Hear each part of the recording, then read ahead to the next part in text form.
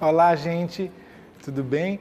Hoje chegamos ao fim né, da nossa última aula sobre os temas, eh, as competências do profissional do futuro, do Fórum Mundial, e eh, vamos falar hoje sobre pensamento crítico e resolução de problemas complexos. O pensamento crítico ele vai ser fortalecido exatamente a partir dessa necessidade, desse entendimento sobre como nascer né, é, um novo conhecimento e como desenvolver esse novo conhecimento. Então, a partir do momento que nós é, vamos estudar estrategicamente algo que está ligado às nossas competências, né, a ajuda desses, desses diferenciais, então nós ficamos, digamos, é, mais preparados para lidar com todas as diferenças que nos cercam e que, obviamente, vão exigir muito uh, dos nossos saberes. Então, a partir do momento em que eu posso julgar, que eu posso entender,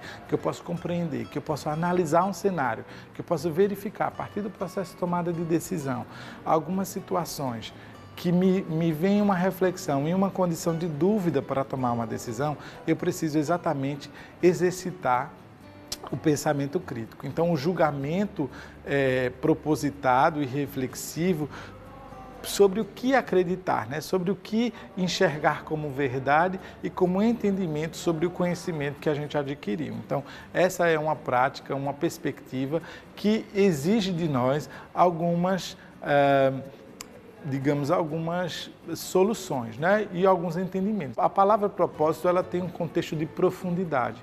O propósito não é só o ensejo de onde se quer chegar, não é só uma ideia, Tá? É um aprofundamento de uma prática, é o entendimento com complexidade de, de uma situação, de uma construção de valor. Então, essa construção de valor, ela passa exatamente por, por experiências. Então, existe uma empresa familiar que constituiu, desde as suas gerações, o desenvolvimento de um produto de qualidade, né? e esse produto de qualidade criou, foi desenvolvido a partir de uma marca de valor com propósito. Né? Então, eles têm no seu produto, nas roupas que eles fazem, não só o critério da moda, nem o desenvolvimento de escala, mas principalmente o seu propósito, ou seja, ser algo que, que agregue valor às pessoas. A capacidade de solucionar questões, tendo como objetivo processos mais fluidos, né? processos mais leves e simplificados, que, que vão gerar uma preferência para ações é, de desenvolvimento de melhorias, de práticas efetivas que vão repercutir em um todo organizacional, ou seja, em uma empresa por completo. Todas as pessoas que ali trabalham vão ser pessoas que estão comprometidas com aqueles valores, com o projeto que se propôs aquele empreendedor, aquele desenvolvedor daquele negócio. Tenha um propósito, tá? Propósito de verdade, propósito com engajamento, um engajamento que dá sinal para a vida de cada um.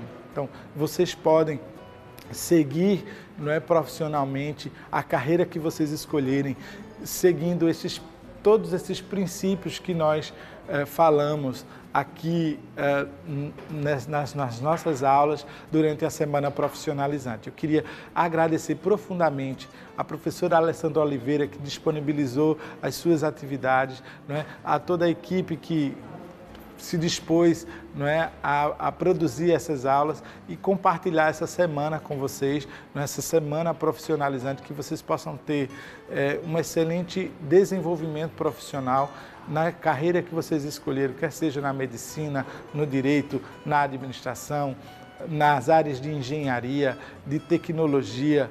Então, gente, a carreira quem vai desenvolver é você.